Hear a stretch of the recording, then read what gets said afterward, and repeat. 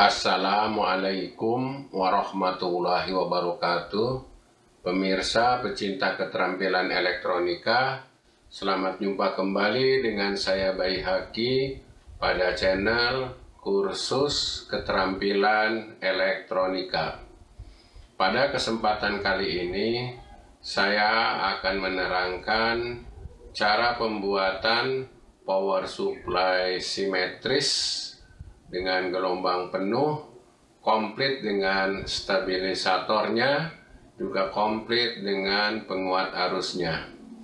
Video ini uh, atas permintaan salah satu pemirsa di mana dia minta dibuatkan rangkaian power supply simetris yang komplit menggunakan uh, stabilisator yaitu ICLM juga menggunakan uh, penguat arus yaitu transistor. Baiklah kita mulai. Ini untuk mempercepat jadi gambarnya sudah saya buatkan ya. Jadi tinggal diterangkan saja. Dasar rangkaiannya adalah begini. Pertama ini adalah trapo step down di mana Tugas daripada trafo step down adalah menurunkan tegangan input dari PLN 220 menjadi tegangan sesuai dengan keinginan kita. Dalam contoh di sini adalah 15 volt. Jadi output dari trafo ini masih dalam bentuk AC yaitu AC 15 volt. Kita menggunakan traponya trapo CT center tap ya jadi nolnya di tengah. Kita menggunakan dioda bright ya dengan uh, uh, gelombang penuh ya. Ini perhatikan AC yang di sini ini anoda ini katoda dipasangnya jadi dari sini keluarnya di sini positif. Ketika yang bawah ini positif dia dikeluarkan melalui dioda yang ini ini dioda ya.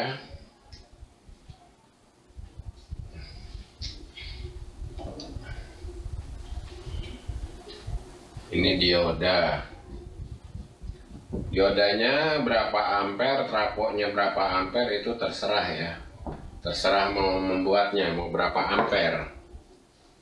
Yang jelas uh, trapo dengan dioda itu harus besaran trapo ampernya dibandingkan dioda. Contohnya, kalau diodanya kita ingin menggunakan 5 ampere, maka traponya harus lebih dari 5 ampere. Jangan kebalikan, traponya 3 ampere, diodanya 5 ampere. Percuma, walaupun diodanya 5 ampere, kalau trafonya 3 ampere, maksimum nanti keluarnya juga 3 ampere. Jadi dioda dengan uh, trapo uh, minimum minimum sama atau lebih besar trapo ampernya. Ini dioda ya. Perhatikan cara kerjanya. Ketika di sini ada pulsa positif, pulsa positif maka dikeluarkan oleh dioda yang ini sini. Ketika yang bawah ada pulsa positif, maka dikeluarkan melalui dioda yang ini. Ketika di atas ini pulsa negatif, maka dikeluarkan ke sini. Ketika di sini pulsa negatif, dikeluarkan uh, melalui dioda ini. Sehingga pada kabel ini atau jalur PCB ini, di sini keluar DC gelombang penuh 15 volt di sini keluar DC gelombang penuh minus 15 minus 15 volt. Jadi masih tetap 15 ya ini 15 kemudian ini filter untuk menghilangkan kerut-kerut atau uh, ripple. Juga dia sebagai penampungan sementara setrum sehingga nanti uh, kegunaannya ke sana untuk uh, kesestabilan kita menggunakan elko 4700 mikrofarad ukuran polnya harus lebih daripada ukuran uh, output voltase yang dari dioda ini. Jadi kalau dioda keluarnya 15 volt, maka elko-nya harus di atas 15 volt. Ya 25 volt sudah cukup. Kemudian untuk ukurannya 4700 mikrofarad juga sudah cukup. Cara pemasangannya awas jangan kebalik, yang kaki positif disambungkan ke sini ke jalur keluaran positif dari dioda ini, yang kaki negatif disambungkan ke jalur CT. Kemudian yang bawah awas jangan kebalik, yang positifnya justru di sini di CT, elko-nya yang negatifnya justru di sini. Ya dipasangnya.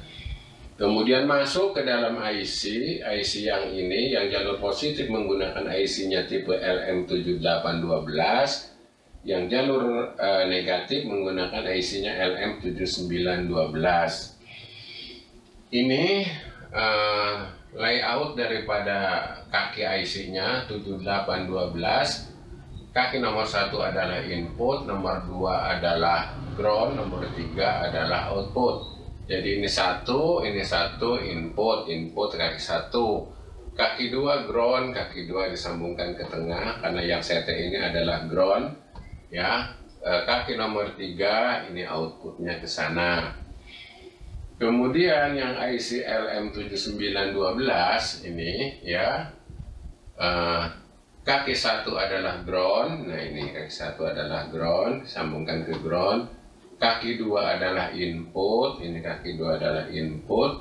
Kaki tiga adalah output. Jadi beda menggunakan IC nya kalau untuk jalur positif menggunakan 7812 ya kalau untuk jalur negatif menggunakan 7912. 12 di sini maksudnya outputnya keluarnya 12 volt ya. Ini juga 12 volt, 12 volt minus, ini 12 volt minus.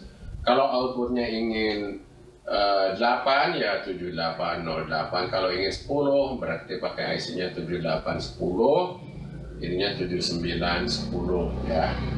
Nah, yang jelas keluaran di sini harus lebih kecil daripada inputnya minimum minimum uh, 3 pol.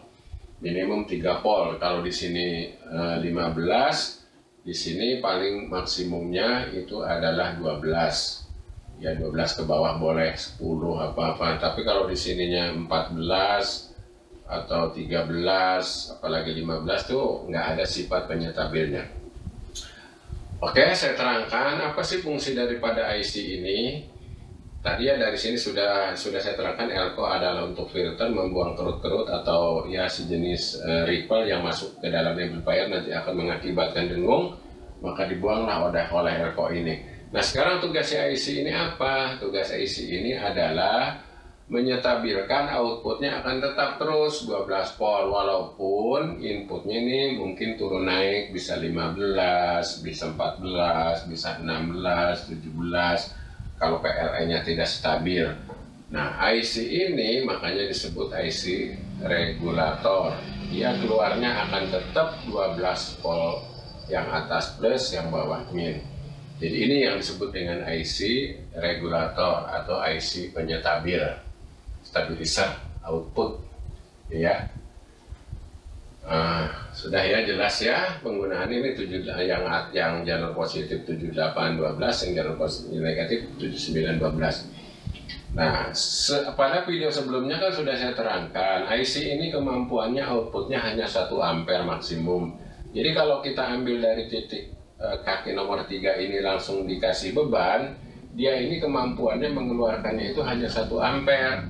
Yang ini juga sama ya, hanya 1 ampere kalau kita ambil dari titik ini. Untuk beban-beban yang kurang dari 1 ampere, memang kita tidak perlu lagi menggunakan transistor. Transistor jengkol ini ya, bentuknya kayak jengkol. Ya ini transistor jengkol tidak perlu kalau untuk di bawah 1 ampere. Tapi kalau untuk di atas, di atas 1 ampere, maka kita harus menggunakan penguat arus, yaitu menggunakan transistor. Sekarang perhatikan, kalau tidak menggunakan transistor ini, kita ambil dari sini, berarti si arus itu kan langsung melalui IC langsung ke beban. Kalau bebannya ngambil dari sini, ya ini juga sini. Kalau ngambil bebannya di sini, dibebankan untuk beban ngambil dari sini, dari titik sini, ya. Nah, dengan menggunakan transistor, si IC ini hanya dibebani oleh transistor sekedar menggerakkan kaki basis kaki basis itu kecil sekali arusnya. Yang dibutuhkan itu kecil sekali arusnya. Sehingga IC ini itu sangat kuat sekali. Tidak bahkan mungkin tidak panas. Panas pun cuma hangat aja ya untuk menggerakkan transistor. Tetapi ketika beban ini dikasih di sini, umpamanya disambungkan ke amplifier ya atau apa saja peralatan lampu atau apalah gitu ya, maka si arus itu lewatnya bukan melalui IC, tapi justru lewatnya ke sini. Dari sini dia bukan ke dalam, tapi dia ke sini. Lewatnya ke sini, ke kolektor, kemudian ke sini, ke positif, ke dalam amplifier digunakan di sana suara segala apa ya kembali ke negatif. Begitupun untuk jalur yang ini, yang jalur simetris negatif, si ground ini kalau terhadap yang ini dianggapnya adalah positif ya. Si nol ini si netral atau ground kalau ke bawah dia adalah sebagai positif kalau dia ke atas sebagai negatif. Arus mengalir dari positif ke negatif Nah kalau dari sini gimana arusnya? Arusnya mengalir dari ground ini. Jadi dari ground masuk ke dalam amplifier sudah digunakan untuk suara segala apa, maka dia kembalinya ke sini. Kembali masuk sehingga panahnya masuk. Ya. Panah masuk ini panah ini menyatakan arah arus. Kalau ini arah arusnya keluar, ya kalau ini arah arusnya masuk. Jadi arusnya itu dari sini masuk ke dalam amplifier kemudian keluar ke jalur uh, ini apa negatifnya masuk ke dalam emitor keluar ke kolektor kemudian ke sini ke sini kembali ke sini. Ya jadi kalau yang ini dari sini dari dioda ke sini ke sini masuk ke dalam amplifier kembali ke setek kalau yang ini harusnya perjalanannya dari CT masuk ke dalam amplifier, kembali ke kaki emitor, masuk ke dalam transistor, keluar ke kolektor, ya, kemudian masuk ke jalur ini, jalur negatif. Ini uh, layout kaki transistor TR 2N3055 sama MJ2955. Kalau 2N3055 itu jenisnya adalah NPN, kalau uh, MJ2955 itu uh, jenisnya adalah PNP. Tapi bentuk kakinya sama begini, sama persis ya. Jadi kalau kita lihat, ngelihatnya dari bawah, dari bawah kakinya, Kemudian posisikan kakinya itu ada di atas ya, jangan di bawah. Maka yang sebelah kiri itu kaki nomor satu adalah basis, yaitu ini basis ya, basis. Kaki nomor dua itu adalah emitor, yaitu ini emitor, emitor ya. Kaki nomor tiga adalah kolektor badannya. Jadi badannya itu uh, bodinya ini, jadi nanti nyambungnya itu di baut di sini, ini lubang baut. Jadi nanti si kabelnya itu dicepit disepit dicepit di sini di kaki nomor tiga ini badannya. Jadi badannya itu adalah kolektor ini nomor satu ini adalah nomor nomor satu basis nomor dua adalah emitor. Ya saya kira udah komplit ya udah lengkap ya tata letak kakinya sudah jelas gitu ya cara pemasangannya juga sudah saya kasih eh, nomor-nomor uh, gitu ya. Jadi jangan sampai kesal jangan sampai salah ini power supply yang sudah saya praktekkan dan ini sangat uh, mumpuni sekali. Bahkan sudah saya gunakan untuk dulu kan suka ada brik-brikan ya yang namanya ngebrik itu ya dua meteran itu kan menggunakan booster biar uh, tembakannya jauh kita biar transmitnya jauh gitu ya saya hanya menggunakan rangkaian power supply ini ini sudah bisa mengangkat uh, booster yang uh, hampir dikatakan maksimum ya. Jadi tergantung bukan mengatakan hampir tergantung maksimum maksimum tergantung ampernya ya. Ini kemampuannya 15 ampere ini kemampuannya 15 ampere polnya bisa sampai di atur uh, sampai 110 volt. Sedangkan untuk diberikan itu ya paling juga hanya 12 volt 13,8 ya kalau yang 60 watt booster itu ya kita hanya menggunakannya membutuhkan uh, 5 ampere. Ini sangat mumpuni sekali untuk 5 ampere itu. Nggak panas cuma hangat aja. Cuma memang kalau kita uh, untuk digunakan uh, 5 ampere maka diodanya ini uh, harus di atas 5 ampere. Kita sebaiknya kita pakai dioda yang besar-besar lah yang ada. Diodanya bentuknya kotak gitu yang bisa 15 ampere. Trapoknya juga ya yang 10 amperan lah gitu ya yang besar-besar. Jadi kembali lagi masalah ampere itu kekuatannya adalah tergantung dari trapoknya berapa ampere diodanya berapa ampere. Gitu ya. Walaupun di sini kemampuannya bisa dia mengangkat sampai 15 ampere ya kalau trapoknya cuma 3 ampere ya ya ya ada aja sih manfaatnya ya. Cuma ya maksimum cuma 3 ampere. Atau diodanya juga cuma 3 ampere kemampuannya ya walaupun ininya kemampuannya hebat besar ya cuma 3 ampere. Ya jadi ini cocok rangkaian ini adalah untuk arus yang sangat besar sekali. Ya arus yang sangat besar uh, ya yang sangat besar sekali yang membutuhkan uh, apa transistor ini untuk menghandle arus tersebut. Uh, demikian mengenai cara pembuatan uh, power supply simetris yang komplit menggunakan stabilisator yaitu ICLM juga menggunakan penguat arus yaitu transistor 2N3055 untuk jalur positif dan transistor MJ2955 untuk jalur negatif.